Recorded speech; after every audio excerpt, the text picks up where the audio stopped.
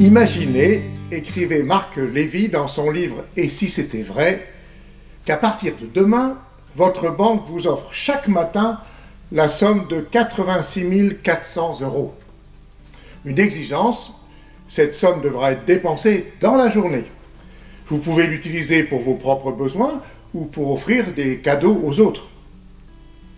En tout cas, il n'est pas question de la déposer sur un compte d'épargne et tout l'argent que vous n'aurez pas utilisé sera perdu à jamais.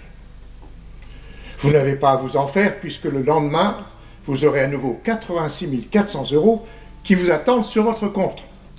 De plus, vous fait remarquer la banque, elle peut interrompre ce cadeau quand elle le souhaite et sans vous prévenir.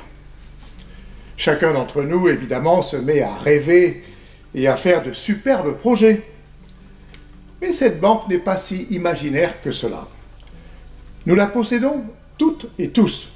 Il s'agit de la banque du temps. Chaque journée nous est créditée de 86 400 secondes. Ce temps, nous le dépensons pour nous et pour les autres, et tout le temps qui est passé est dépassé à jamais. Le temps se goûte à chaque instant. C'est pourquoi il est préférable d'ajouter de la vie au temps plutôt que du temps à la vie. Il est illusoire de croire que plus nous aurons de secondes disponibles à dépenser, plus nous serons heureux. Donner plus de temps à la vie ne nous appartient pas, c'est la nature qui le décidera. En revanche, donner de la vie au temps est, du ressort de notre propre liberté. La qualité de l'occupation de mon temps m'appartient. C'est à moi, en lien avec tous ceux qui m'entourent, de décider comment je vais l'utiliser. En effet, ce n'est pas l'événement qui fait la vie, mais plutôt la manière dont je le vivrai. Alors prenons le temps de vivre, prenons le temps d'aimer.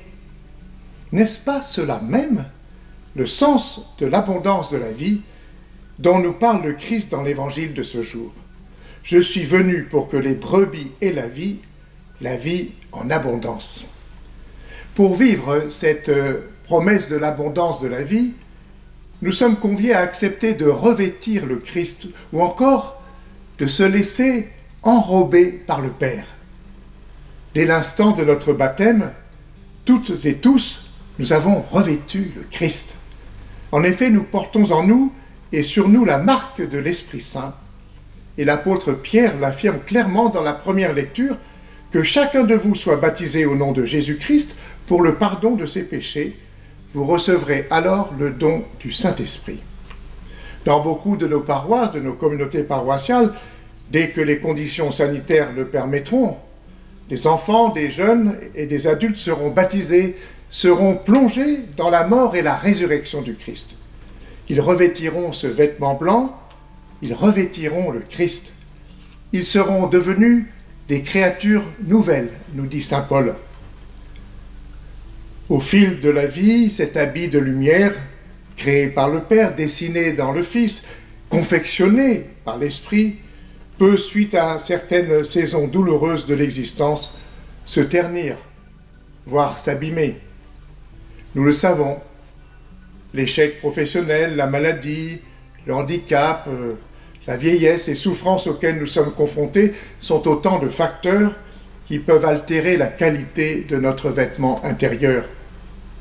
Heureusement pour nous, dans la foi, le plus grand couturier depuis la création du monde, c'est l'Esprit Saint, qui n'utilise que le fil d'or de la tendresse pour réparer nos blessures les plus profondes. Oui, en Dieu, il y a toujours l'espérance. Et il ne faut pas grand-chose pour que le souffle de l'Esprit puisse agir en nous. Dieu est avec nous. Dieu est en nous. Il ne nous lâche pas et il nous convie à le chercher dans les traces laissées par son Fils et dans les marques de l'Esprit agissant par le biais des créatures humaines. Notre vocation, c'est que nous sommes tous, je dis bien tous, appelés à la vie. Nous sommes tous appelés à oser la regarder en face avec ses beautés et ses moments plus douloureux. Nous sommes tous appelés à l'écrire avec une plume trempée dans l'encre de l'amour nous sommes tous habités par cette conviction que l'encrier ne se videra jamais puisqu'il prend sa source dans le Fils. Tel est le sens premier du salut dont nous parlent les passages de la parole de Dieu aujourd'hui. Dieu nous appelle gratuitement à l'abondance de la vie. Dieu nous appelle à la grande vie. Et c'est Jésus qui nous montre la porte de la vie. Il n'y en a pas d'autre que lui-même. Moi je suis la porte, affirme-t-il. Ce n'est pas seulement un enseignement qu'il est venu nous apporter. Il ouvre à notre existence la porte de la vie. Qui ne voudrait franchir cette porte? Qui ne désire vivre et vivre en abondance? Et cette offre, elle n'est pas réservée à un petit groupe de favorisés ou d'initiés qui seraient les seuls appelés, les prêtres, les diacres, les consacrés. Jésus et la vie qu'il apporte ne sont pas non plus le privilège des brebis qui sont déjà dans l'enclos. Et de même que Luc raconte la parabole du berger qui laisse les 99 brebis pour aller à la recherche de l'unique égaré, Jean nous montre la volonté de Jésus d'ouvrir à tous les hommes la porte du salut. Si Jésus est à la fois le berger et la porte, c'est qu'il a frayé aux hommes le passage vers la vie. Ce passage est celui de sa Pâque. Jésus nous tourne ainsi vers son mystère pascal. Il se dessaisit de sa vie pour devenir source de vie. Par le baptême, nous franchissons la porte qu'il nous ouvre. Nous faisons partie du seul troupeau et nous connaissons la voix du seul berger.